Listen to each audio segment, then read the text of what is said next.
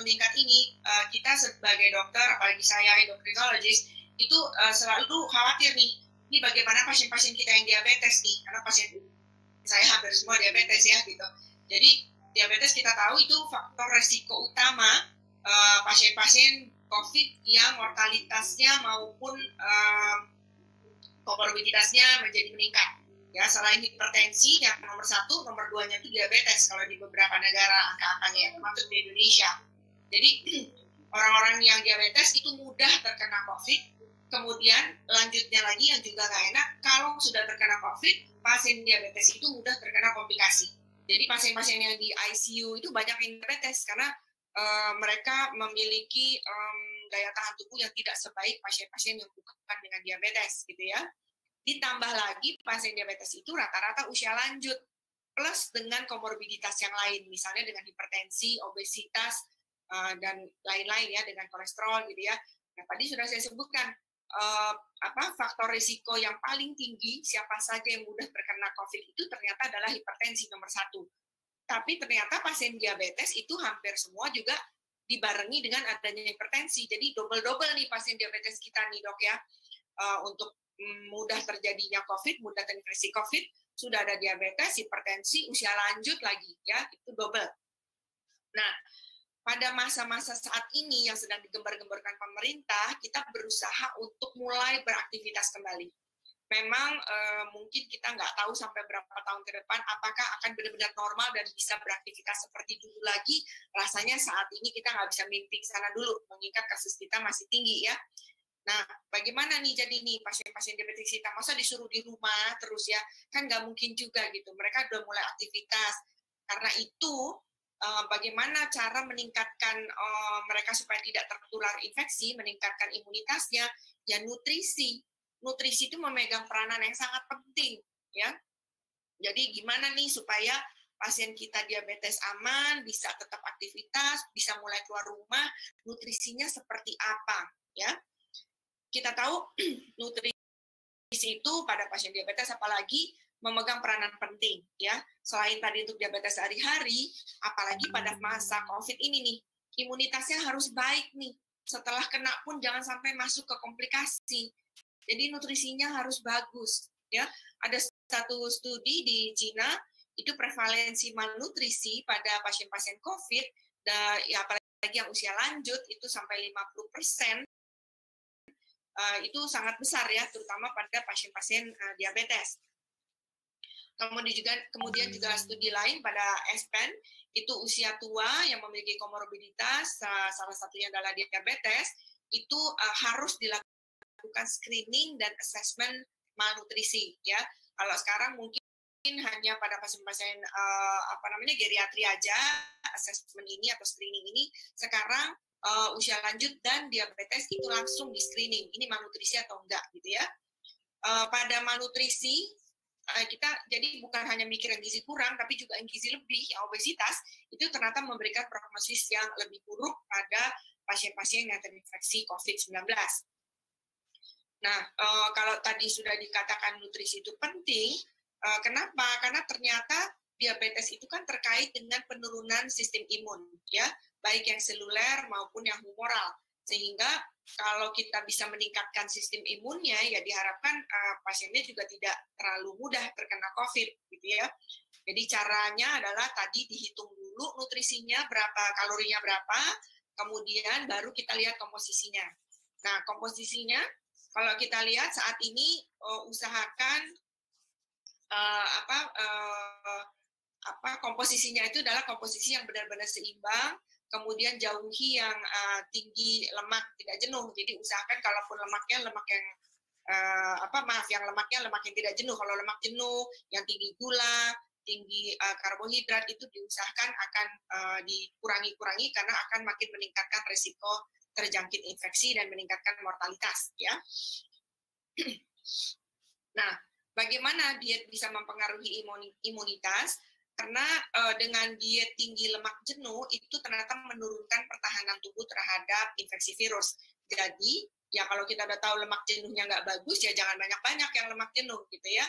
Kemudian tinggi lemak ya secara umum lemak itu menyebabkan infiltrasi makrofag itu terutama yang ke paru, apalagi kita bicara COVID, ke alveoli terutama, itu akan uh, semakin tinggi, ya. Kemudian juga makin tinggi karbohidrat dan lemaknya, itu akan makin tinggi sitokin-sitokin pro-inflamasi. Kemudian tinggi karbohidrat, uh, rendah karbohidrat, itu di, uh, ada bukti-bukti yang menyatakan bahwa ternyata bisa menurunkan sitokin-sitokin yang pro-inflamasi. Ya. Nah, uh, diet sehat ini, seimbang ini penting, apalagi kita sudah mulai meminta pasien kita untuk aktivitas sehari-hari, sehingga masyarakat ini perlu diberikan informasi-informasi yang jelas, yang seperti apa yang dibolehkan, gitu ya. Nah, ini ada satu salah satu rekomendasi dari WHO, uh, eh, walaupun ini secara keseluruhan bukan hanya untuk diabetes saja, tetapi saya rasa ini sangat baik untuk diaplikasikan kepada pasien-pasien diabetes kita. Jadi yang pertama ini uh, karena mungkin terlalu kecil ya, jadi saya sebutkan saja di sebelah kanannya. Yang ini itu mengatakan bahwa eh, pasien-pasien uh, kita untuk secara umum ya sebenarnya bukan hanya pasien aja, makanlah makanan yang segar dan bukan makanan olahan ya. Itu usahakan setiap hari seperti itu makanannya.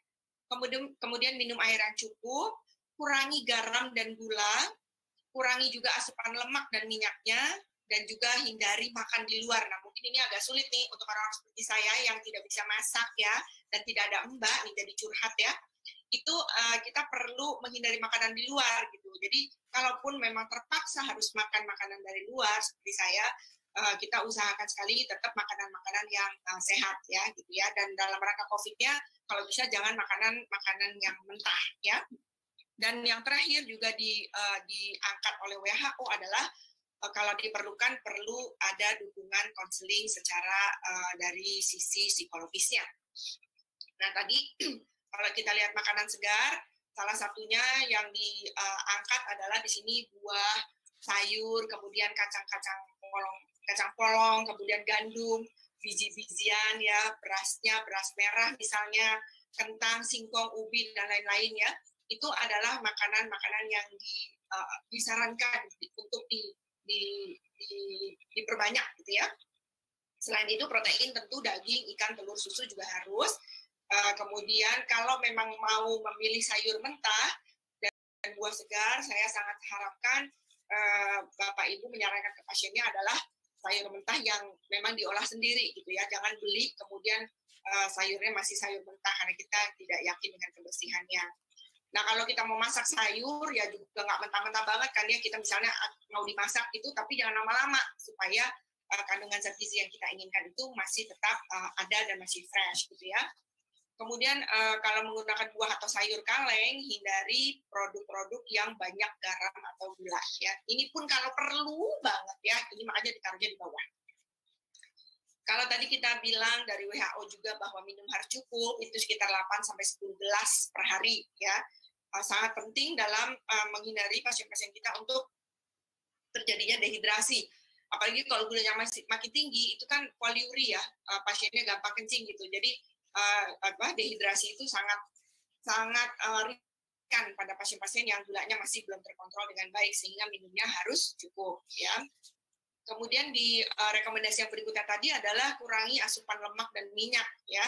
Jadi pilih makanan lemak yang tidak jenuh ya yang tadi udah disebutkan gitu. Uh, dan kalaupun pada daging-dagingan juga pilih daging yang tidak berlemak gitu ya. Nah kalau mau milih daging uh, silakan diedukasikan daging kalau kalau bisa kalau suruh milih pilih yang lebih uh, pilih dagingnya yang daging putih misalnya ayam gitu ya ikan gitu. Kenapa? Karena biar bagaimanapun walaupun milih daging merah yang nggak nggak ada lemaknya tetap kadar lemaknya biasanya yang merah itu lebih tinggi dibanding yang uh, putih sehingga putih lebih direkomendasikan. Kemudian daging olahan itu kalau bisa nggak usah karena banyak garamnya banyak lemaknya dan banyak gulanya juga gitu ya kalaupun harus uh, memilih produk susu itu silakan pilih yang rendah lemak uh, yang low GI dan juga apa tadi karbohidratnya yang lepas lambat ya susu-susu sekarang udah banyak yang ditujukan untuk diabetes ya dihindari juga lemak trans ya makanan olahan tuh banyak mengandung uh, lemak trans. Kemudian uh, ada bukti juga mengatakan bahwa konsumsi lemak tak jenuh ternyata bisa menurunkan komplikasi kardiometabolik ya. Jadi udah diabetes jangan sampai kena jantung. Jadi ikuti yang tadi lemak-lemaknya ya. Nah, garam dan gula ini juga uh, jangan sampai mereka nggak konsumsi garam sama sekali gitu, karena nanti juga hiponatremi juga ada masalah lagi. Jadi tetap ada konsumsi, tetapi 5 gram saja, satu sendok teh untuk satu hari, ya. Uh, kemudian bumbu-bumbu mesti seperti kecap itu juga masih boleh. Jadi jangan sampai pasien diabetes itu jangan pakai garam banyak-banyak karena ada hipertensinya misalnya. Nggak boleh sama sekali pakai garam, kecap nggak boleh ya nggak juga nanti kasihan mereka nggak makannya, tapi dikurangi aja. Kemudian uh, asupan yang tinggi kadar gula seperti jus, buah gitu ya. Banyak sekali pasien-pasien yang uh, salah persepsi, mereka makan eh, minum jus buah. Padahal sebenarnya dengan minum jus buah itu artinya buah yang masuk bisa sampai 3 4 buah dan itu terlalu banyak. Sehingga akhirnya gulanya menjadi terlalu besar ya. Jadi uh, disarankan untuk dimakan aja, jangan diminum, jangan bikin jus banyak-banyak gitu buahnya. Ya, uh, sebagai slide yang terakhir, uh, selain yang tadi sudah disebutkan nutrisi-nutrisi harus adekuat dan lain-lain, ada hal-hal lain yang juga harus ditekankan pada pasien-pasien diabetes yaitu uh, minum obatnya harus sesuai petunjuk ya. Ada yang memang harus dikurangi dosisnya ada yang harus dinaikkan karena stres ya sehingga gulanya naik gitu. dan itu tidak sedikit pasien-pasien saya yang gulanya menjadi naik gara-gara covid ini gitu ya. Kemudian diusahakan untuk monitoring lebih sering ya. Kalau punya alat gula darah silakan dilakukan lebih sering. Dan pasien diminta tetap aktif karena itu uh, dengan adanya uh, dari pemerintah juga sudah mulai bisa beraktivitas pelan-pelan ya, itu silakan pasien-pasien mulai kembali aktif. Jangan disuruh di rumah terus. Kalaupun di rumah terus, tetap harus aktif olahraga juga tetap gitu ya. Dan yang juga paling penting ini yang selalu digadang-gadang oleh pemerintah juga dan juga kita tentu sebagai staf medis, yaitu cuci tangannya sering-sering. Jadi percuma kita makan sayur semacam tapi karena tangannya nggak cuci tangan akhirnya kena juga deh gitu ya. Jadi cuci tangan itu adalah satu hal yang krusial termasuk dalam tata laksana nutrisi. Ya, uh, ini kesimpulan saya bahwa diabetes adalah merupakan salah satu faktor risiko utama uh, dari sisi mortalitas dan juga morbiditas eh, pasien-pasien uh, yang terkena COVID ya. Kemudian status nutrisi terutama pada pasien diabetes itu memegang peranan penting dalam kejadian infeksi COVID-19 uh, pada pasien-pasien dan juga perkembangan keparahan.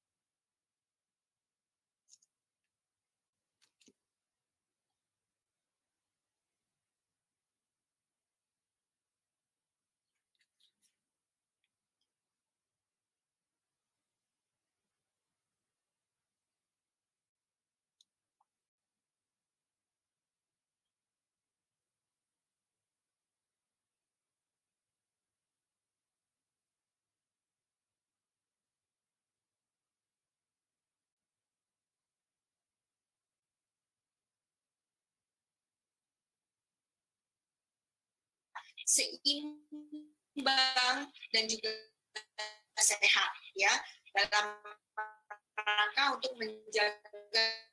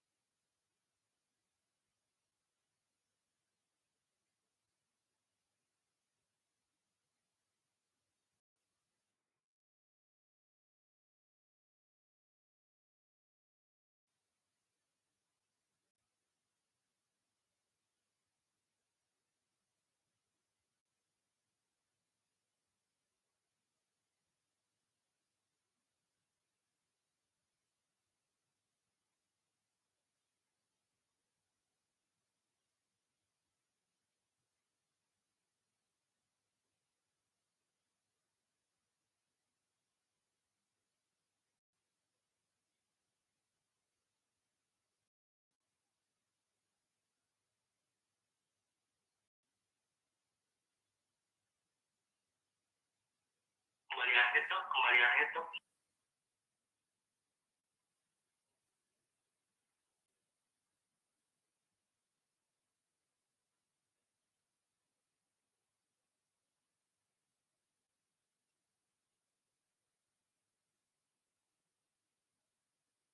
Ya, dok.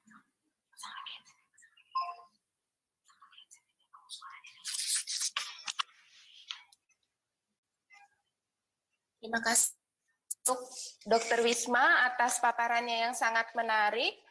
Uh, semoga teman-teman ini udah banyak yang uh, chat dok bertanya. Nanti kita simpan dulu ya dok uh, setelah pembicara kedua.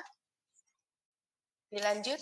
Uh, pembicara kedua adalah Dr. Rita Ramayulis DCN MKes. Beliau adalah ahli gizi dan konsultan kesehatan Eh, Ketua Umum Indonesian Sport Nutritionist Association, pengurus DPP Persagi, uh, Persatuan Gizi Indonesia, uh, menulis berbagai buku gizi dan kesehatan, salah satu dosen di berbagai perguruan tinggi di Jakarta, dan berbagai aktivitas sosial yang sangat banyak yang diikuti juga penghargaan-penghargaan uh, salah satunya adalah uh, Indonesian Award 2019 kategori uh, pemerhati autoimun terbaik. Uh, karena beliau juga pemerhati autoimun. Uh, untuk topik dokter dokter Rita adalah strategi perencanaan makan pada penyandang diabetes selama pandemi COVID-19 kepada Ibu Rita kami persilakan Ya, baik. Terima kasih Dokter uh, Novi. Uh, Bismillahirrahmanirrahim. Assalamualaikum warahmatullahi wabarakatuh. Baik yang saya hormati Dr. Endang, uh, kasih PTM dari Dinas Kesehatan DKI, kemudian Dr. Wisma, narasumber kita yang pertama, dan kemudian seluruh panitia yang telah bekerja keras dari beberapa waktu kemarin ya, untuk uji coba dan lain sebagainya. Dan tentu kepada semua peserta webinar yang katanya sudah mencapai lebih dari 2.000 peserta, luar biasa sekali. Nah baik, saya akan melanjutkan materi yang telah disampaikan oleh Dr. Wisma tadi pembuka untuk terapi medisnya. Saya lebih kepada tips atau uh, tip praktikalnya, bagaimana penata laksanaan atau bagaimana edukasi kita terhadap pengaturan makanan pada pasien diabetes. Boleh kita lihat slide yang pertama. Panitia akan bantu nanti untuk uh, uh, sekretariatnya.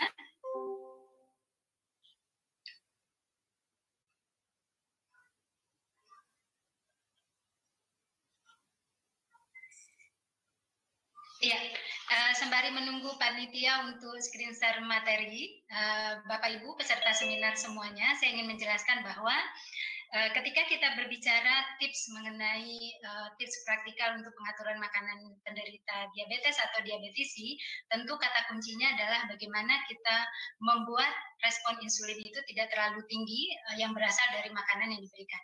Kita ketahui bahwa beberapa kelompok makanan itu sebagian besar akan menghasilkan glukosa pada hasil akhir metabolismenya. Nah, glukosa inilah tentu yang akan menentukan apakah respon insulin itu menjadi tinggi atau respon insulin itu sedang atau respon insulin itu rendah. Nah, tentu saja respon insulin yang semakin rendah itu akan membuat uh, tata laksana gizinya semakin baik. Ya, mari kita lihat tentang uh, slide ini. Ya. Ya, ini adalah uh, tip praktikal dalam merencanakan diet untuk diabetisi. Boleh kita lanjutkan next. Ya, ini biodata saya kita lanjutkan lagi.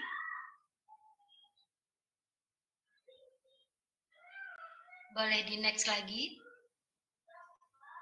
Nah, ini para webinar semua, ini yang saya katakan tadi, bahwa kalau kita melihat beberapa jenis makanan berikut ini, bahwa sebagian besar kelompok makanan kita itu hasil akhir metabolismenya di dalam tubuh adalah menghasilkan glukosa. Nah, glukosa inilah yang akan menentukan apakah respon insulin itu menjadi tinggi atau tidak. Mari kita lihat dua jenis makanan ini. Yang pertama itu adalah pisang, yang kedua adalah roti. Dua-duanya menghasilkan sisa metaboliknya, hasil akhir metaboliknya adalah glukosa. Tetapi kalau kita kita melihat jumlah glukosa yang ada di pembuluh darah kita berbeda. Ketika makan uh, pisang itu lebih sedikit dibandingkan ketika makan roti. Karena memang jumlah kandungan karbohidrat di dalam pisang dan di dalam roti itu berbeda. Tapi tidak semata-mata jumlah, tetapi ini salah satu pendekatan kita adalah mengenai jumlah karbohidrat tadi. Jadi tata laksana pertama yang harus kita lakukan adalah bagaimana kita mengurangi jumlah karbohidrat pada yang diasup oleh seorang diabetisi. Nah, ketika bicara tentang jumlah karbohidrat, kita bicara tentang uh, yang disebut dengan carbing atau kita mengcutting karbohidrat dari makanan. Boleh kita lanjutkan slide-nya? Nah, uh, uh, prinsip yang paling praktis ketika kita mengcounting karbohidrat atau memotong karbohidrat itu kita bisa melakukan perhitungan jumlah gramasi. Jadi artinya bahwa kalau misalnya 100 gram karbohidrat itu mengandung uh, 100 gram nasi itu mengandung karbohidrat lebih kurang 40 gram, maka kita harus mengkanting karbohidrat ini. Nah, Bapak Ibu untuk mengkanting karbohidrat tentu tidak uh, uh, mengkanting karbohidrat tentu ada aturannya. Nah, aturan yang kita pakai adalah menggunakan satu serving karbohidrat yang setara dengan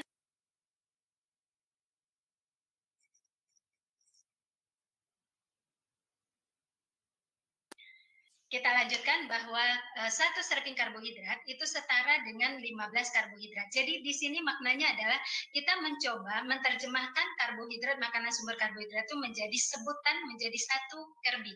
Nah, kenapa kita menggunakan satu kerbing? Karena satu kerbing itu setara dengan 15 gram karbohidrat dan itu setara dengan uh, sangat cocok disesuaikan dengan satu unit insulin ataupun oral uh, obat yang diberikan secara oral untuk seorang penderita diabetes. Jadi ini sesuai untuk respon uh, insulin yang diberikan secara oral ataupun melalui uh, insulin tadi, terapi insulin. Nah, kalau kita berikan contoh seperti ini adalah ketika seseorang membutuhkan kalori 1500, nah Bapak Ibu tadi perhitungannya sudah disampaikan oleh Dr. Bisma, ketika dapat kita hitungan kalorinya misalnya 1500, kita akan mengambil range karbohidrat di sana dimulai dari 45% sampai 65%. Nah, nanti kalau ditanya pemilihannya, apakah saya akan mengambil 65 atau mengambil 45? Itu nanti disesuaikan dengan bagaimana baik tidaknya respon insulin si penderita si diabetes tadi. Saya ambil contoh adalah kalau kita mengambil 60%, maka kita dapatkan nanti karbohidratnya, ya, kalorinya itu adalah 900 kilokalori.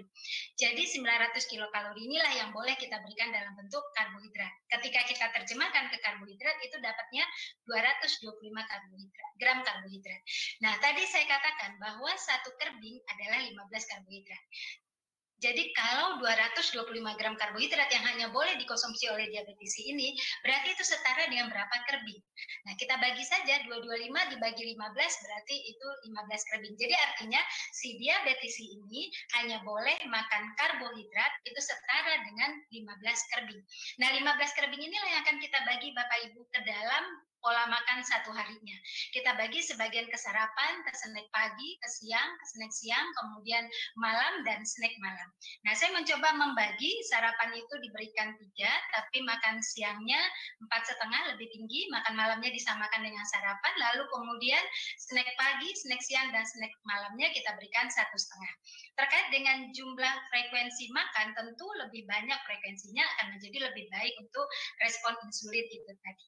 Nah, dengan uh, skema ini Bapak Ibu, maka hal yang perlu kita semua adalah apa sih uh, atau uh, bagaimana uh, berapa sih ker, jumlah kerbing pada makanan. Jadi kita harus mengenal kerbing pada makanan. Jadi ini konsep awal, selanjutnya kita akan mengenal. Boleh lihat slide? Ya, next. Nah, kita akan mengenal uh, karbohidrat makanan yang mengandung karbohidrat. Nah, saya katakan tadi ada beberapa kelompok makanan. Yang pertama adalah kelompok makanan karbohidrat kompleks. Kita ketahui bahwa satu penukarnya mengandung 40 gram karbohidrat. Saya berikan contoh. Kalau satu piring nasi sedang atau 100 gram nasi itu ada 40 gram karbohidrat. Kalau ditanya, berarti satu piring nasi itu berapa kerbing? Berarti lebih kurang adalah 2 sampai 3 kerbing. Kita harus jadikan dia satu kerbing. Kalau memang pagi hari itu jatahnya ada tiga kerbing, kita bisa berikan dua kerbing dari nasi, mungkin satu kerbing lagi adalah dari protein nabati yang juga mengandung karbohidrat. Nah, kita lihat yang kedua, yang uh, jumlah karbohidrat yang tertinggi pada kelompok kedua adalah pada buah-buahan. Nah, buah-buahan itu satu penukarnya itu mengandung 12 gram karbohidrat. Saya berikan contoh. Satu penukar pepaya itu adalah 110 gram. Berarti uh, eh, 110 gram pepaya itu adalah 12 gram karbohidrat. Nah, kalau dia satu kerbing berarti berapa gram uh, pepaya? Berarti tentu lebih dari 110 gram. Karena 110 baru 12 gram karbohidrat. Satu kerbing adalah 15 gram karbohidrat. Nah, kelompok ketiga yang tinggi juga kandungan karbohidratnya itu adalah kelompok karbohidrat sederhana. Seperti gula pasir, gula aren, dan madu. Nah, Bapak Ibu, khusus untuk kelompok ini tidak kita hitung dalam bentuk kerbing. Kenapa demikian? Karena ini memang tidak dianjurkan untuk diberi dalam bentuk tunggal. Jadi yang gula pasir, gula aren, karbohidrat sederhana ini, yang definisi gula yang dimunculkan oleh WHO termasuk di dalamnya adalah sari buah, juga madu itu tidak boleh diberikan dalam bentuk tunggal, tidak boleh diberikan menjadi bentuk makanan, tetapi boleh sebagai campuran bumbu. Jadi kalau misalnya kita mengolah sayur lodeh supaya rasanya tidak terlalu tajam asinnya, supaya ada rasa manisnya, kita bisa menambahkan gula pasir sebagai bumbu. Dan itu pun tadi Dr. Wisma sudah katakan, yaitu sebesar 5% dari energi total yang boleh bersumber dari karbohidrat ini. Jadi kalau hanya 5%, kalau untuk orang yang kebutuhannya 2000 kilokalori, itu hanya sekitar 25 gram. Nah, 25 gram itu adalah 2 sendok makan. Dan itu hanya boleh ditambahkan sebagai bumbu atau tambahan pemanis pada karbohidrat kompleks dalam jumlah sedikit, tidak dalam bentuk minuman. Kita lanjutkan lagi, next. Makanan lain yang mengandung karbohidrat. Susu. Susu adalah urutan keempat yang karbohidratnya tinggi, yaitu sekitar 10 gram karbohidrat. Tapi susu tidak disebut sebagai gula, karena laktosa yang ada di dalam susu itu sudah berada uh, asli di dalam campuran itu. Jadi bukan sengaja ditambahkan. Nah, kalau satu takar susu 10 gram karbohidrat, berarti satu gelas susu itu belum satu kerbing. Itu baru 2 per 3 kerbing. Jadi kita kalau se seorang diabetesi makan satu gelas susu, kemudian satu lagi dia makan snack apa, kita tinggal hitung aja tuh udah berapa kerbing. Kalau jatahnya pagi adalah tiga kerbing misalnya. Nah, Bapak Ibu berikut, eh, Bapak Ibu selanjutnya adalah protein nabati. Itu juga mengandung karbohidrat. Tahu, tempe, kacang tanah, kacang merah, kemudian kacang hijau, itu untuk satu penukarnya mengandung 7 gram karbohidrat. Jadi kalau dia menjadi satu kerbing, misalnya seorang diabetes mengkonsumsi satu potong tahu, dia baru setengah kerbing. Kalau dia mengkonsumsi dua potong tahu, yang satunya itu adalah 100, lebih kurang 110 gram, atau tempe, satu penukarnya 50 gram, dia makan dua potong tempe, berarti dua kali 50 gram baru dia dapat satu kerbing ya. Nah, selanjutnya adalah yang mengandung karbohidrat itu kelompok sayuran. Nah, menariknya di kelompok sayuran ini ada sayuran tipe A yang karbohidratnya diabaikan. Jadi boleh dimakan sesukanya si penderita diabetes ini si diabetes ini. Nah, kemudian kalau tipe B itu masih ada 5 gram dan tipe C masih ada 10 gram. Itu pun belum sejumlah satu kerbing. Nah, ini kita kenali dulu. Baru kita bisa menghitung kerbing ini kita terjemahkan ke dalam menu satu hari seorang diabetes. Next. Nah, sekarang saya coba bantu. Nah, tapi ini saya nggak jelaskan satu persatu karena waktu kita nggak lama, kan slide bisa diperoleh oleh peserta. Saya udah coba bantu susunin kerbingnya. Nanti kalau kita melayani pas uh, uh, diabetisi, um, pelayanan pada seorang diabetisi, memang seharusnya daftar kerbing ini ada pada panduan kita. Jadi kalau saya suka saya tempel pada uh, pada buku yang untuk melayani pas uh, untuk melayani seorang diabetisi. Jadi saya punya daftar itu. Jadi tinggal gampang menariknya ya. Nah, seperti misalnya satu kerbingnya nasi itu seperempat gelas gitu lah contohnya. Jadi satu kerbingnya kentang itu setengah buah. Jadi kalau seorang diabetes itu mengkonsumsi kentang satu buah, dia berarti sudah mengkonsumsi dua kerbing. Jadi kalau satu kerbingnya itu baru setengah buah. Nah kalau mie itu seteng, sepertiga mie kering yang kita suka beli mie instan atau mie yang biasa sepertiganya itu satu kerbing. Kalau dia makan mie-nya itu satu porsi yang dia beli itu dia sudah mengkonsumsi dua setengah kerbing karbohidrat. Kira-kira seperti itu. Nanti bapak ibu bisa baca sendiri. Nah seperti cracker itu dua keping itu satu kerbing dua keping cracker yang tanpa gula nah, itu dianggap satu kerbing. Nah, seperti roti, satu lembar roti itu satu kerbing. Jadi kalau kemudian uh, kita pakai dua itu sekian. Nah, nanti tinggal uh, bisa dihitung. Lanjut. Nah, gramasi yang saya tuliskan pada bawah gambar Bapak Ibu itu adalah gramasi bahan. Tapi semua kandungan karbohidratnya ini adalah satu kerbing, yaitu 15 gram karbohidrat. Next. Nah, kemudian ini satu kerbing makanan yang bersumber pada protein nabati, susu, dan buah. Saya juga sudah hitungkan, tinggal nanti dicek saja, dibikin daftarnya, memudahkan kita untuk mengakses kebiasaan makan seorang uh, diabetisi. Jadi kita kadang-kadang melihat, seorang diabetisi ini cenderung kenaikan kadar glukosa darahnya tinggi setelah makan pagi kah atau siang kah. Kita lihat apakah di sana kerbingnya berlebih atau tidak. Jadi menganalis, mengaksesnya adalah dari jumlah kerbing. Kemudian mengintervensinya juga dari jumlah kerbing. Lanjut. Nah, ini adalah sayuran yang saya katakan tadi. Kita harus mengenalkan sayuran tipe A kepada seorang diabetisi. Kenapa demikian? Bapak Ibu, ketika karbohidratnya di counting, kita tahu bahwa karbohidrat di counting berarti berat bahannya menjadi lebih rendah. Kalau berat bahannya menjadi lebih rendah, tentu tidak bisa memberikan rasa kenyang. Nah, kalau rasa kenyang tidak didapat oleh seorang diabetisi, tentu dia akan mencari kompensasi pada makanan lain. Ini akan merusak diet. Sehingga kita harus memperhatikan rasa kenyang itu dan kemudian juga membantu glukosa dari makanan itu diserapnya bertahap adalah dengan mengandalkan sayuran tipe A. Ini adalah sayuran tipe A seperti tomat, ketimun, jamur kuping, labu air, selada, lobak dan uh, oyong. Ini makan sayuran yang bisa dikonsumsi dalam jumlah seberapapun si diabetisi mau sampai dia memberikan rasa kenyang karena tidak mengandung energi. Energinya sangat bisa diabaikan. Jadi ini menjadi penyeimbang untuk indeks glikemik kemudian untuk memberikan rasa kenyang juga dan juga sebagai sumber mikronutrien yang sangat baik. Ya, lanjut lagi slide-nya. Nah, uh, secara lebih mudahnya Bapak Ibu, mungkin secara pendekatan personal, kita memang hitung kerbing. Tapi kalau kita berbicara secara kelompok uh, pada kelompok diabetisi, tentu akan sulit kalau kita menghitung kerbing satu persatu, gitu unit kerbingnya dia. Maka kita mempunyai yang disebut sebagai piring makan model T. Ini adalah penata laksanaan uh, diet uh, yang diterjemahkan pada piring makan untuk diabetisi yang dikeluarkan oleh Direktorat PTM Kementerian Kesehatan Republik Indonesia. Mereka mengeluarkan bentuk piring makan yang kita sebut sebagai piring makan model T. Bapak Ibu coba lihat, dalam satu piring itu ada huruf T. Nah, huruf T itu uh, berada pada tengah. Nah, jadi ada tiga ruang kosong di sini. Ada ruang kosong pada bagian atas yang sangat lebar, kemudian sepertiga ruang kosong ada di seperempatnya ada di sebelah kiri dan seperempatnya ada di sebelah kanan bawah. Nah, ini penempatannya adalah seperti se, di sebelah kiri bawah itu adalah untuk karbohidrat kompleks apa saja karbohidrat kompleks boleh masuk sana. Jadi maksudnya itu untuk tempat yang akan diisi oleh nasi, nasi merah, oleh kentang, oleh mie, itu tempatnya di sana.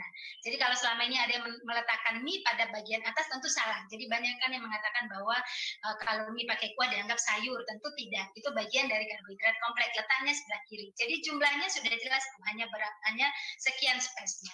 Nah, di sebelah kanan yang yang seperempat bagian bawah sebelah kanan itu adalah untuk proteinnya.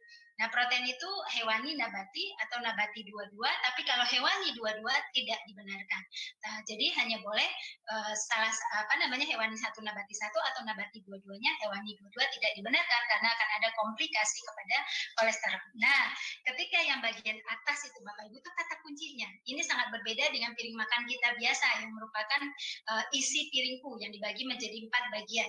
Nah, yang di atas itulah kita akan menyisikan kelompok sayur. Nah, di situ akan kita letakkan katakan sebagian itu adalah sayuran tipe B dan C yang mengandung energi, tapi sebagian lain buangannya itu adalah yang tipe A. Inilah yang akan membuat nanti satu saji makan ini akan memberikan rasa kenyang yang lebih lama, akan memberikan respon insulin menjadi lebih rendah karena dia akan membuat uh, karbglukosa yang di yang dihasilkan akan masuk secara bertahap ke dalam uh, darah kita.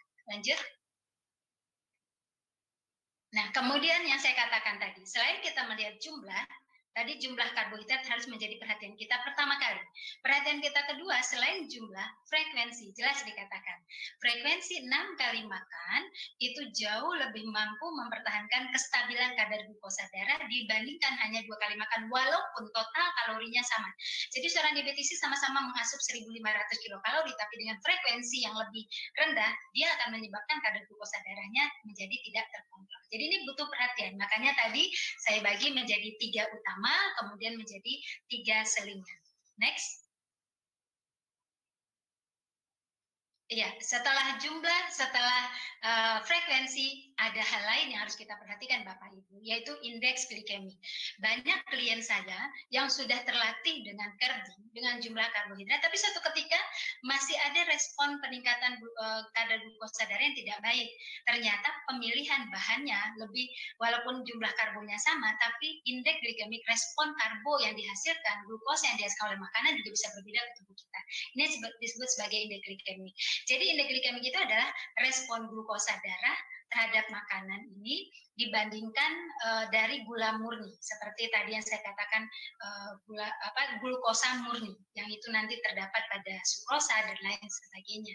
Nah ini harus kita ketahui makanan mana yang mempunyai respon glikemik yang baik. Yang baik tentu yang rendah. Kita lihat pada yang saya yang saya lingkar merah itu kalau dari makanan sumber karbohidrat seperti misalnya nasi, roti, mie jagung itu 80, itu termasuk tinggi. Tapi kemudian kalau direbus dengan rendaman air, IG-nya turun. Tapi kalau digoreng, IG-nya naik. Gitu ya. Nah, jadi teknik pengolahan juga sangat menentukan IG. Jadi IG ini ditentukan oleh uh, uh, bagaimana karbohidrat yang terkandung di dalamnya, lalu ditentukan juga oleh teknik pengolahannya, dan ditentukan juga oleh padu padan makanan itu. Ya. Next. Nah, sekarang seberapa pentingnya indeks glikemik diperhatikan? Fakta menunjukkan orang-orang yang bisa memperhatikan indeks glikemik makanan itu akan mengalami perbaikan kontrol glikemiknya sehingga mencegah risiko terjadinya komplikasi diabetes mellitus. Ya, next. Ya, ini uh, Bapak Ibu kita sudah tahu standarnya. Kalau yang dikatakan high uh, index glikemik itu yang nilainya 70 ke atas. Yang medium 55 sampai 69, yang low itu 54 uh, eh, ke bawah. Bapak Ibu bisa lihat jenis makanannya di samping kiri itu tadi. Nah, maka kemudian gambar saya di sebelah kanan, ini terjemahan dari yang high index glikemik. Gula, tadi kita sudah sepakati, gula tidak diberikan dalam bentuk tunggal, hanya ukuran pemberi rasa yang jumlahnya hanya 5% dari energi total. Kemudian roti putih, nasi putih itu termasuk indeks glikemik tinggi yang mempengaruhi kadar glukosa darah. Mie dan pasta mempengaruhi kadar glukosa darah. Nah, kalau dikatakan bahwa kita sudah menghitung jumlah karbohidratnya sudah sesuai, tapi masih juga kadar glukosa darahnya tidak terkontrol, maka kita akan mengganti seluruh makanan yang mengandung karbohidrat yang sama dengan indeks glikemik yang yang tidak mempengaruhi kadar glukosa darah. Jadi saatnya nanti kita mengganti nasi putih ke yang lain, saatnya mengganti mie dan pasta ke yang lain, saatnya mengganti tepung uh, terigu ke Eh, jenis yang lain yang tidak mempengaruhi kadar glukosa darah secara cepat, tetapi jumlah karbohidratnya sama. Next.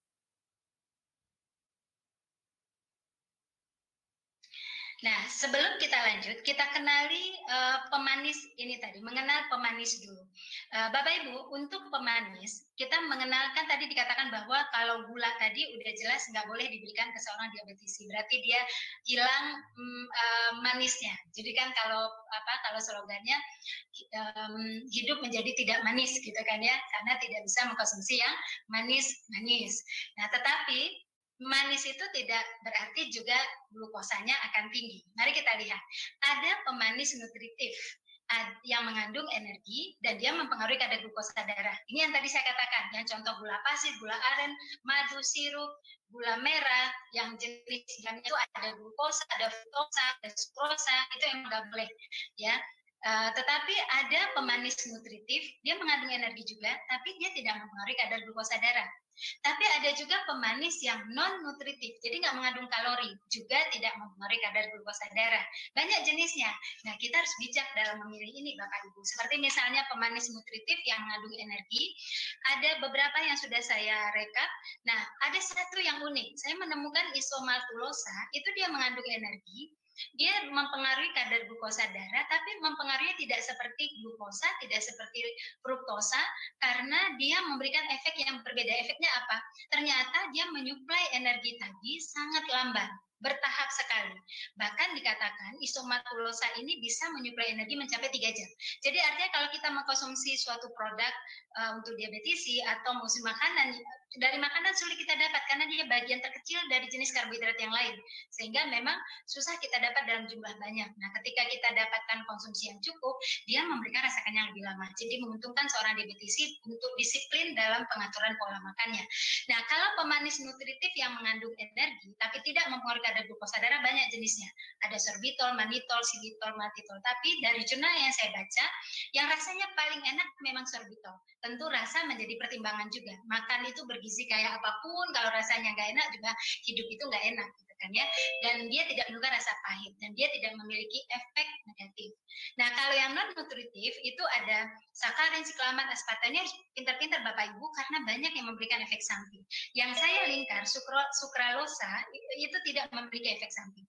Dan kalau dipanaskan pun manisnya tidak menjadi pahit, panisnya pun tidak hilang. Nah, gula stevia jelas itu alami berasal dari tumbuhan stevia. Nah, jadi nanti kalau Bapak Ibu memilih produk yang cerdasnya yang mempelajari jenis-jenis gula itu tadi. Kita lanjut lagi next ya dimajukan ke depan. Nah, setelah mengenal pemanis, kita tadi melihat ke yang uh, nasi putih, roti putih yang saya katakan tadi karbohidratnya sudah sesuai aturan, tapi indeks glikemiknya tetap uh, tetap respon insulinnya tetap negatif, tetap tidak baik. Maka kita harus memilih indeks glikemik yang rendah. Nasi putih bisa diganti nasi merah, indeks glikemiknya lebih lebih rendah. Roti putih bisa jadi roti gandum. Nasi putih bisa ke kentang, bisa ke jagung, bisa ke. Nah, ini adalah pilihan berikutnya. Jadi setelah memperhatikan jumlah karbohidrat, frekuensi, masih juga belum baik uh, responnya, kita lanjut ke indeks glikemik. Nah, setelah ini next. Nah, kemudian baru kita coba mengenal serat. Jadi indeks glikemik identik dengan adanya kandungan serat di dalamnya. Seperti tadi roti gandum kenapa indeks glikemiknya tinggi? Karena dia juga mengandung serat lebih tinggi. Nah, mengenal serat sendiri Bapak, kita mengenal ada serat air, air. Nah, yang mempengaruhi ke kadar glukosa darah, yang membantu respon uh, yang apa, membuat glukosa darah menjadi lebih baik itu adalah yang larut air. Kalau yang tidak larut air lebih kepada volume feses ya. Nah, untuk yang larut air pun banyak jenisnya. Ada pektin seperti ada pada kulit apel, kemudian gam, mucilages, mucilages itu um, uh, apa namanya tidak tidak terlalu banyak terdapat di makanan. Kemudian inulin. Nah, menarik tentang inulin Bapak Ibu. Inulin ini memang dia serat yang sifatnya prebiotik. Memang semua serat itu uh, inulin lebih bersifat prebiotik. Jadi artinya kalau dia bersifat prebiotik, uh, dia uh, mampu mempertahankan jumlah mikrobiota dalam usus kita. Nah, ini kan salah satu gerbang imunitas kita pertama yang bisa uh, meningkatkan stimulasi sistem imunitas kita. Nah, ini menjadi perhatian penting ketika masa pandemik ini, gitu ya.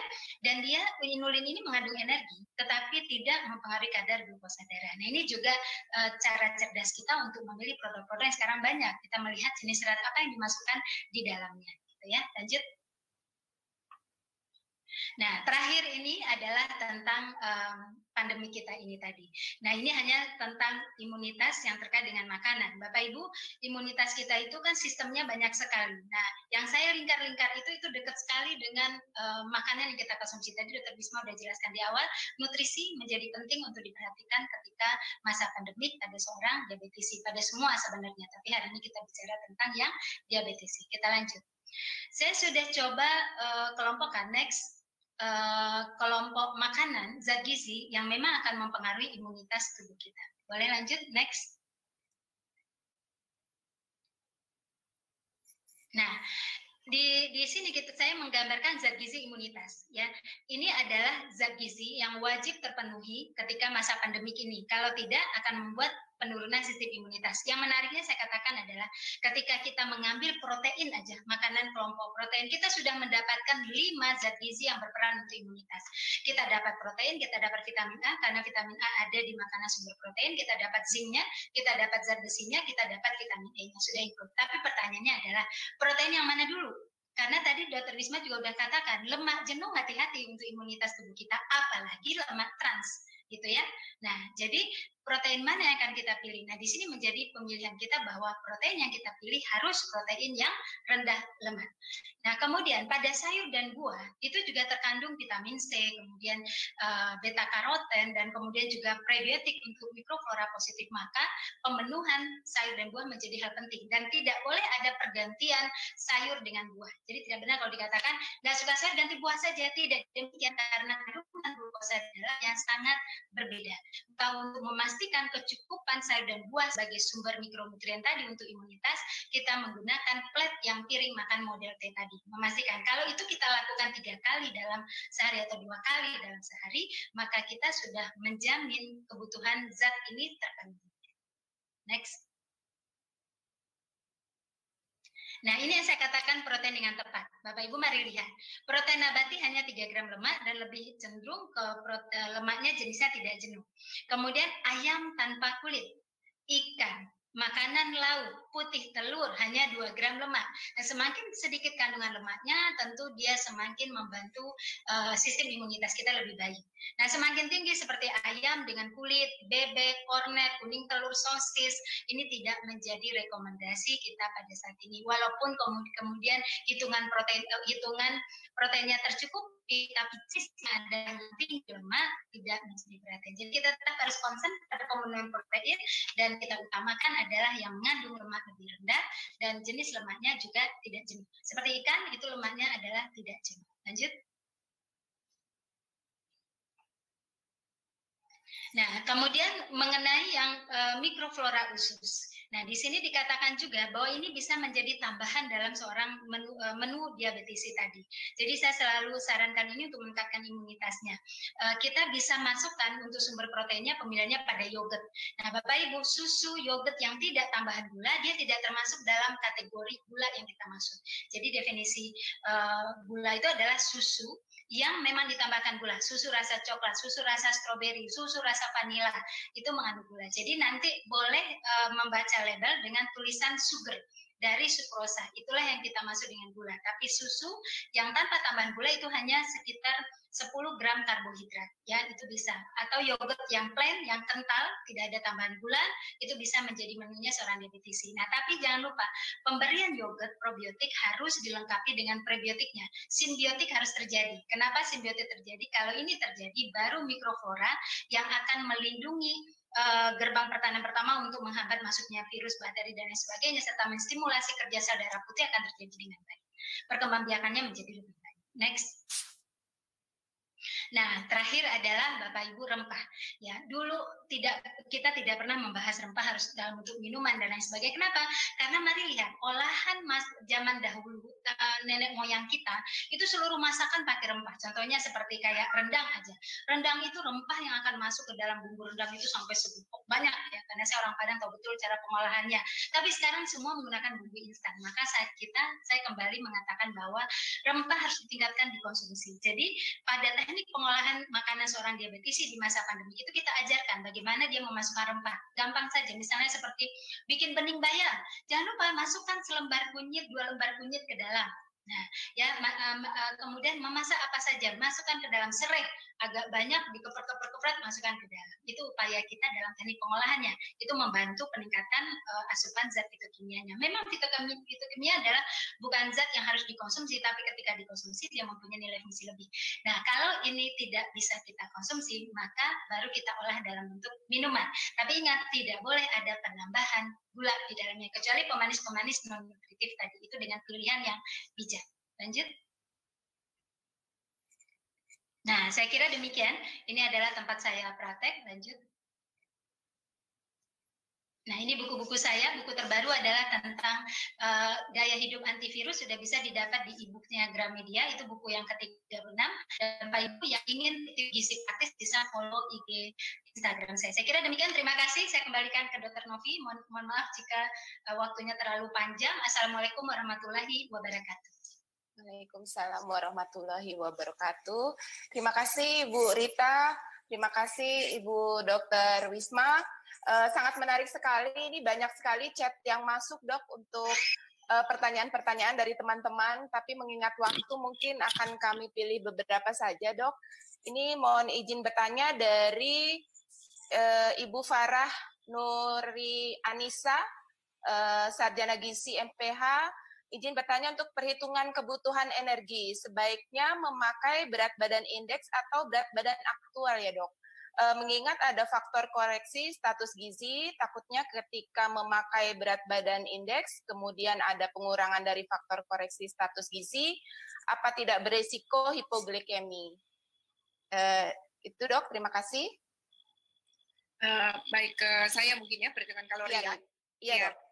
Uh, jadi mungkin uh, berat pertama koreksi istilahnya dulu kali ya dok, uh, bukan berat badan indeks tapi berat badan ideal. Jadi oh, kalau iya, dalam jadi untuk berat badan ideal itu memang uh, bukan berupa range ya, dia berupa satu angka, di mana satu angka ini nanti akan ada per, dikalikan dengan kebutuhan yang uh, per individual. Nah, memang uh, semuanya ini sudah dalam perhitungan sehingga ini diharapkan tidak menyebabkan hipoglikemi tadi berat badan ideal atau berat badan apa uh, aktual ya? Aktual dok aktual ya. ya Kalau berat badan aktualnya maaf ya katakanlah sampai 100 gitu. Nanti takutnya jumlah kalorinya terlalu besar gitu. Cuman memang pada pasien-pasien yang baru datang pertama kali untuk edukasi gizi, mungkin nanti Burita bisa tambahkan. Eh, jadi kalau misalnya kalau dihitung-hitung kebutuhan dia sehari-hari itu ternyata dia makainya bisa sampai 3.000-4.000 kalori, sedangkan kalau kita hitung sebenarnya dia cuma butuh 1.900, berarti kan kita harus menghilangkan sekitar 2000 kalori.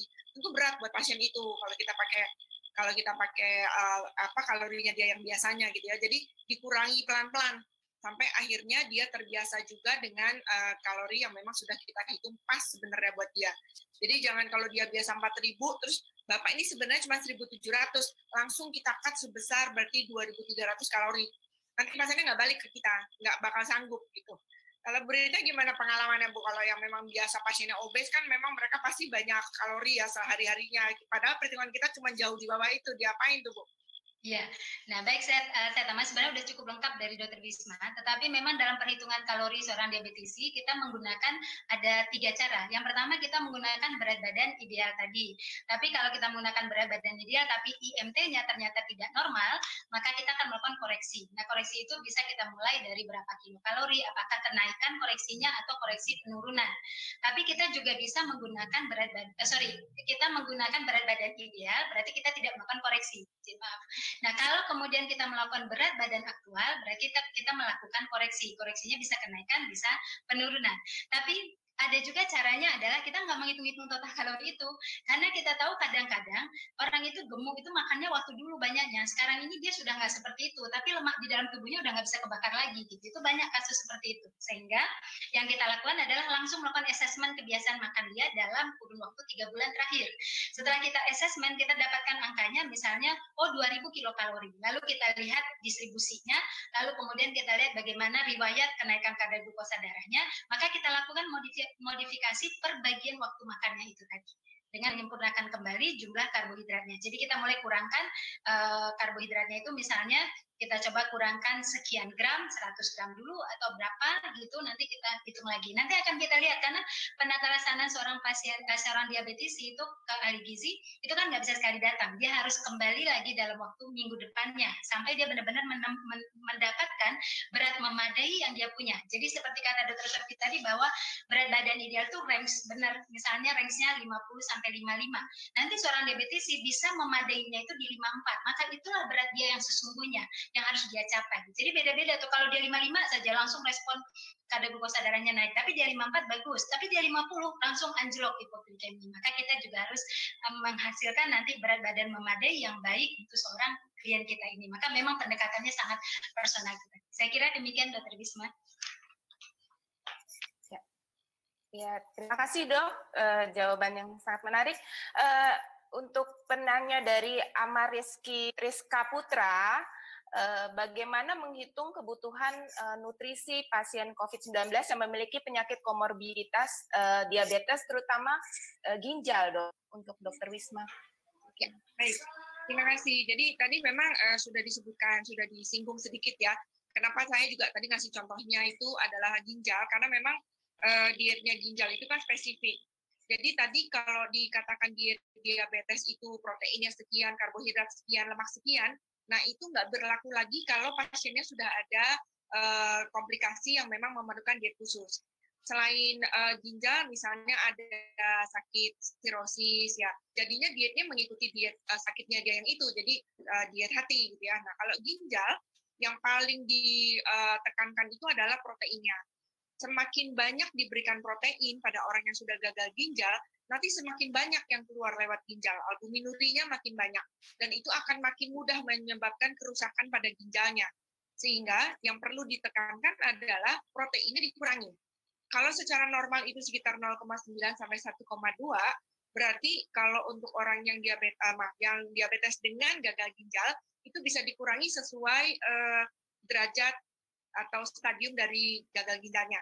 Misalnya dia udah stage 4 gitu ya, ya mungkin proteinnya uh, sekitar 0,8 aja gitu ya atau dia benar-benar udah stage 5 uh, eh, dan belum cuci darah itu silakan pakai 0,7 0,8 gitu ya uh, tergantung dengan seberapa besar kebocoran yang ada pada pasien tersebut Tapi begitu dia sudah cuci darah, sudah hemodialisis, itu lebih longgar. Uh, jadi dia bisa menggunakan uh, target protein yang sama seperti orang-orang yang tidak ada sakit ginjal.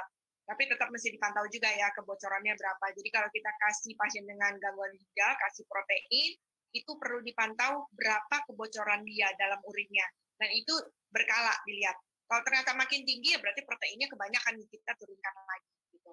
Ini perlu perlu seni banget memang dok, e, karena nanti ada juga pasien diabetes, ada gagal ginjal, kemudian ada kaki diabetesnya, ada ulkusnya. Ulkusnya lebar, besar gitu ya. Padahal ulkus itu kita perlu banget protein, kalau nggak dia nggak sembuh. Tapi ginjalnya juga jelek. Nah itu benar-benar seni banget. Gitu. Ya, untuk terapi memang harus seni ya dok ya. Terima kasih dok. Uh, ini mungkin untuk uh, Ibu Rita uh, tentang uh, pertanyaan dari Dokter Budiman di PKC Kemayoran, dok. Uh, Bu, update tentang beras sirataki nih Bu. Mungkin uh, minta mungkin lagi ini ya, ya Bu ya. Jadi banyak yang mengatakan itu untuk diet karena katanya nori. Bagaimana Bu? Ya baik, ya sirataki ini yang bagiin sekarang bikin sirataki ini kan salah satu bentuk uh, serealia juga uh, rumput-rumputan gitu basicnya. Nah dia um, apa ya dia kandungan seratnya tinggi tapi karbohidratnya tidak ada. Jadi karbohidratnya itu bisa dibilang sangat rendah sekali.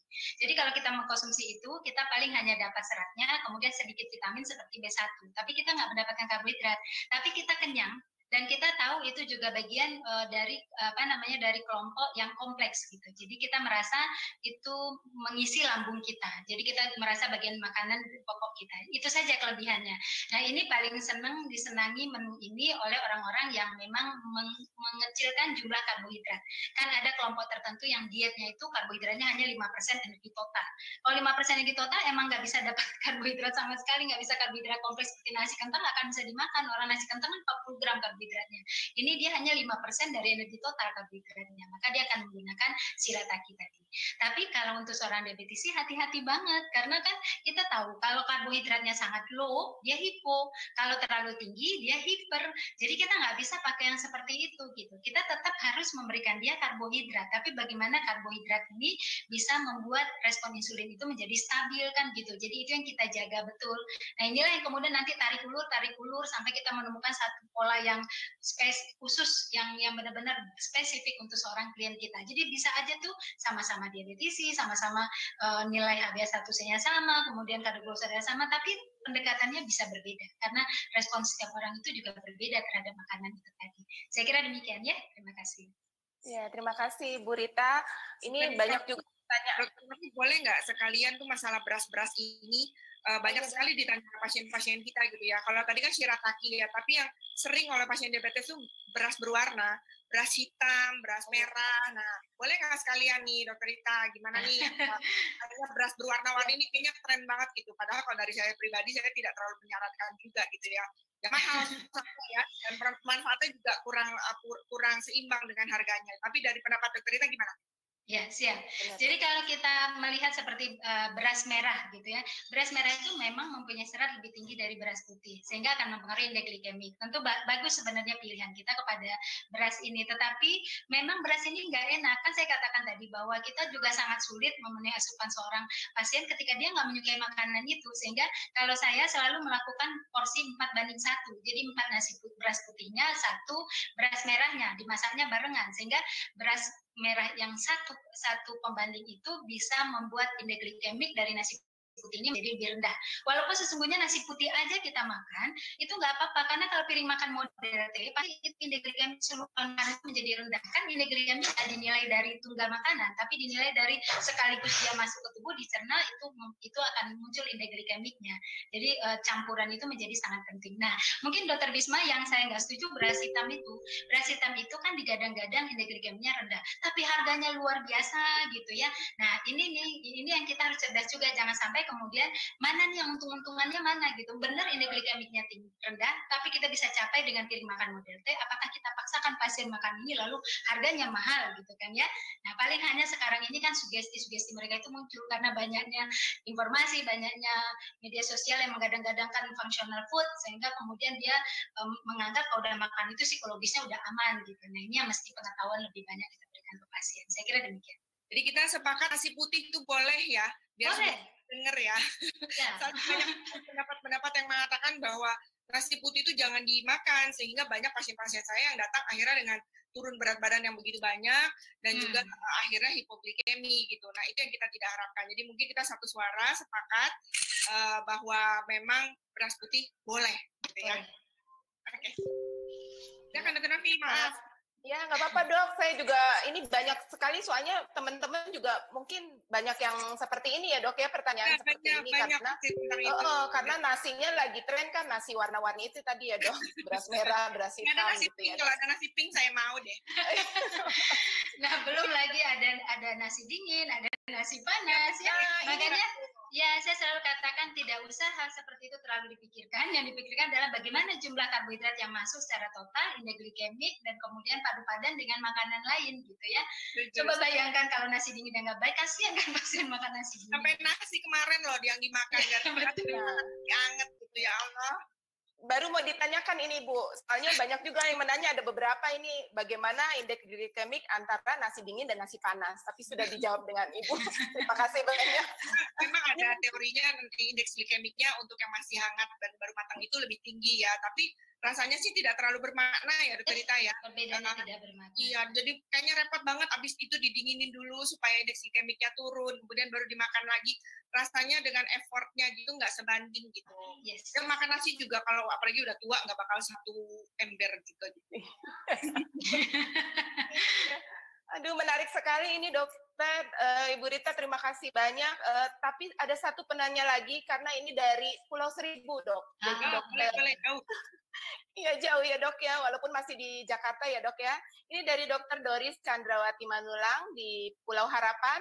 Izin bertanya Ibu dokter, uh, dari Puskesmas Pulau Harapan, beberapa pasien diabetes di tempat uh, saya, HbA1c-nya itu lebih dari 7, antara 8 sampai 12. Uh, eh, usia penderitanya rata-rata di atas 35 di bawah 77 tahun dengan uh, terapi OAD. Uh, kebiasaan makan mereka di sana memang banyak karbohidrat dan mengandung lemak tak jenuh terus agak sulit menerap, sulit menerapkan diet untuk seperti yang disarankan oleh dokter Wisma tadi gitu ya dok ya. Terus apakah tata laksana diet diabetes yang dokter paparkan uh, dapat diterapkan untuk pengontrolan gula darah puasanya ini dok sebulan atau dua minggu? Terima kasih dok. Uh, sebenarnya uh, masalah sulit apa enggak itu tergantung dari dari mindsetnya si pasien ya. Uh, kalau memang dia kita biasakan jadi ke dokter ke ahli gizinya ke dokter gizinya dikasih tahu nih ini komposisinya kira-kira seperti ini gitu. Yang bikin sulit itu kan karena tidak terbiasa. Karena sebenarnya yang kita kasih nggak susah ya Burita ya. Itu makanan hari-hari kok gitu. Bahkan kalau kita saya konsul ke ahli gizi dulu ya itu pada takut tuh. Nggak mau loh dok nggak mau. Ya, begitu udah dihitung saya sendiri ngerasain begitu dihitung banyak juga ya gitu ternyata banyak juga gitu jadi bukan bukan makanan yang jadi cuma nasinya cuma dua butir gitu ya enggak juga gitu tetap banyak dan memang sudah dihitung sesuai dengan kebutuhan yang diperlukan. Jadi uh, sebenarnya sih kalau mau gampang mungkin ya dok, piring dibagi empat gitu. Nah yang seperempatnya itu nasi, yang setengahnya itu sayur-sayur, yang seperempatnya lagi itu proteinnya. Mungkin dibiasakan begitu gampang itu bisa kali ya dokter Rita ya. Uh, kalau, kalau gimana ngitungnya gitu susah ya udahlah begitu aja deh gitu. Kan yang ada biasanya kita setengah tuh yang nasi nah itu dirubah deh. Yang nasinya jadi seperempat yang seperempatnya dagingnya nah setengahnya itu dibuat sayur. Kalau bisa konsisten melakukan itu harusnya HbA1c-nya juga turun. Ya tentu dibantu dengan obat dan aktivitas fisik ya gitu jadi uh, tadi saya senang juga sih uh, HbA1c-nya banyak yang antara 7 sampai 8 wah hebat juga gitu ya Uh, karena 12, maaf. Oh, sampai 12. Oh, jangan kalau 12. Rata-rata tinggi. Ya, memang ya. saya tahu kemampuan untuk uh, menata laksana diabetes di puskesmas itu sangat terbatas karena obatnya cuma dua kan ya, cuma iya. metformin sama sulfonylurea gitu, entah glipen, entah glimatiride. Jadi kalau memang teman-teman ngerasa ini sudah waktunya dikonsul karena nggak terkontrol dengan dua obat itu, dietnya udah optimal, aktivitas fisik sudah setiap hari, konsul aja deh ya gitu, konsul aja. Tapi sebenarnya dietnya nggak susah kok gitu. Jadi dokternya sendiri juga uh, ditanamkan bahwa sebenarnya bisa nih pasiennya. Nah, uh, apa konsep itu yang kita masukkan ke pasien bisa kok pak. Terima kasih dokter. Uh, ini sangat banyak pertanyaan-pertanyaan yang mungkin tidak bisa jawab satu-satu ya dok, karena waktunya juga sudah mepet. Uh, menarik sekali soalnya pembahasan kali ini. Uh, mungkin saya akan membacakan resume sedikit ya dok dari uh, dua narasumber kita hari ini adalah pengaturan makan uh, disesuaikan dengan penyakit penyertanya. Uh, men, uh, perlu adalah pola untuk porsi makanan pada pasien DM agar tetap uh, menjaga gula darahnya stabil adalah perlunya ada jadwal, jumlah, dan jenisnya. Uh, terus pola makan yang sehat mendukung tata laksana dan prognosis untuk pasien-pasien uh, diabetes. Diabetes merupakan salah satu risiko utama morbiditas dan keparahan penyakit akibat COVID. Memasuki era new normal selama pandemi COVID ini, uh, masyarakat mulai kembali beraktivitas sehari-hari, maka perlunya adalah nutrisi yang memiliki peran penting untuk mencegah tertularnya infeksi terutama pada penderita uh, penyandang DM. Uh, terima kasih juga untuk tips uh, pengaturan makan pada penyandang diabetes. Orang-orang uh, yang dapat mengatur indeks glikemik dengan baik dapat mencegah resiko diabetes uh, mellitus.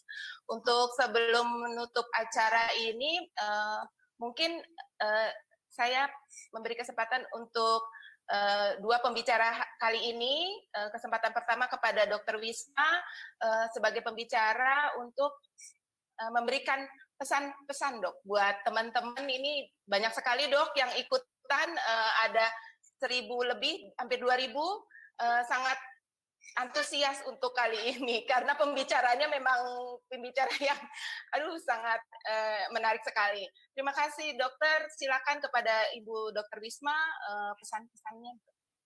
Baik, uh, terima kasih Dokter Novi. Uh, ya saya senang sekali bisa berbagi uh, inti yang akan saya uh, berikan pada hari ini adalah pasien-pasien diabetes akan mulai kembali beraktivitas. Artinya kemungkinan teman-teman akan uh, kedatangan lagi nih pasien-pasien diabetes ke poliklinik teman-teman gitu. Jadi tolong diingatkan kembali agar bisa menjaga pola hidup sehatnya. Dan salah satu yang sangat penting adalah bagaimana bisa menjaga nutrisinya. Itu tidak mudah memang, uh, tetapi kita harus yakinkan bahwa dengan nutrisi yang baik, itu akan meningkatkan daya tahan tubuh pasien-pasien kita. Tadi nanti bisa pas lagi kontrol, selain obat-obatnya, tolong edukasi untuk nutrisinya ditingkatkan dok. Itu aja titipan saya dok. Terima ya, kasih. Terima kasih, terima kasih kembali dokter. Uh, mungkin yang kedua pesan dari Ibu Rita, silakan Ibu. Ya. Baik, terima kasih Dokter Novi. Nah, Bapak Ibu peserta seminar semuanya, saya hanya ingin katakan bahwa ketika seorang sudah menderita diabetes, terjadilah perubahan memilih makanan dan kriteria yang saya sebutkan tadi. Nah, memilih makanan itu kan adalah perilaku. Nah, seseorang itu bisa merubah perilakunya. Memang tahap pertama adalah pemahaman. Saya hanya titip pesan saja ketika menghadapi seorang diabetesi, jangan pelit ngomong. Karena ngomong itulah yang membantu dia untuk memahami situasi dirinya, memahami tentang makanan. Semakin orang berpandangan positif terhadap suatu makanan, maka semakin dia menyukainya. Semakin dia berpikiran negatif terhadap suatu makanan itu, maka dia akan menjauhi makanan tersebut. Maka kita lah yang membangun bagaimana dia memandang positif terhadap makanan yang akan kita anjurkan, dan bagaimana kita membangun pandangan negatif terhadap makanan yang tidak kita anjurkan. Saya kira demikian. Terima kasih. Terima kasih Ibu Rita. Uh, terima kasih sekali lagi untuk Dr. Wisma dan Ibu Rita uh, yang telah memberikan sharing pada hari ini. Ilmunya sangat menarik. Diskusi kali ini antusiasme dari teman-teman sangat banyak. Banyak uh, chat pertanyaan yang tidak dapat terjawab satu persatu. Kami mohon maaf karena keterbatasan waktu. Semoga acara hari ini bermanfaat dan membawa berkah buat teman-teman sejawat semua, terutama apa teman-teman yang di garda uh, depan ya dok ya. Uh, semoga webinar series berikutnya dengan topik-topik yang tidak kalah menarik dapat meningkatkan uh, kita wawasan dan penyemangat bagi teman-teman sejawat dalam upaya pelayanan uh, kesehatan ke masyarakat, khususnya pencegahan dan tata laksana penyakit tidak menular. uh, kita doakan bersama agar wabah COVID ini uh, cepat berlalu ya dok ya, uh, dan kita tetap sehat semuanya. Sekali lagi terima kasih yang tak terhingga buat dua pembicara kami hari ini.